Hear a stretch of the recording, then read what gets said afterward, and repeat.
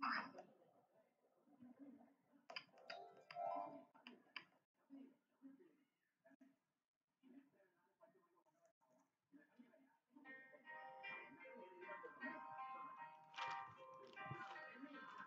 Viewers பொதுத்துறை வங்கிகளில் ஒன்பதாயிரம் கோடி ரூபாய் கடன் வாங்கிவிட்டு இந்திய மக்களை கஷ்டத்தில் விட்டுவிட்டு லண்டனுக்கு தப்பிய நம்பர் ஒன் களவாணி விஜய் மல்லையா விரைவில் கைதாகிறார்.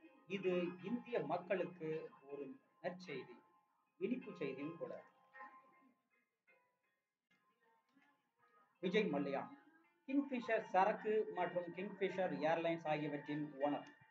இவர் தன்னுடைய பிசினஸ் விரிவாக்கத்திற்கு ஒன்பதாயிரம் கோடி ரூபாயை பொதுத்துறை வங்கிகளில் வாங்கி ஏப்பம் விட்டுவிட்டு லண்டனுக்கு ஓடிவிட்டார். அவ்வப்போது வேடந்தாங்கல் பறவை போல் டுவெண்டி டுவெண்டி கிரிக்கெட் போட்டியை காண வருவார். இந்த களவாணி நபரால் இந்தியாவின் ஒட்டுமொத்த நடுத்தர மக்கள் அனைவரும் எஸ்பிஐ வங்கியின் மினிமம் பேலன்ஸ் பிரச்சனையால் தங்கள் பணத்தை எல்லாம் இழந்து தவித்தனர்.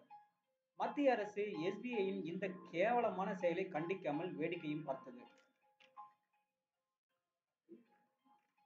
இதனால் மல்லையா மீது பொதுத்துறை வங்கிகள் சார்பாக சுப்ரீம் கோர்ட்டில் வழக்கு போடப்பட்டது. சிபிஐ விசாரித்து வந்த இவ்வழக்கில் பெரிதாக எந்த ஒரு முன்னேற்றமும் ஏற்படவில்லை.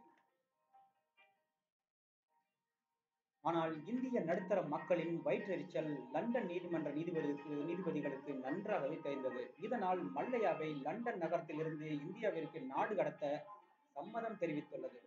இதனால் களவாணி மன்னன் மல்லையா இந்தியா வந்ததும் அவனை கைது செய்ய சிபிஐ தயாராக உள்ளது. இனியாவது மத்திய அரசு இந்த மாதிரியான களவாணி நபர்களை முறையாக மற்றும் கடுமையாக தண்டித்தால் நாட்டில் இது போன்ற குற்றங்கள் நடக்காது.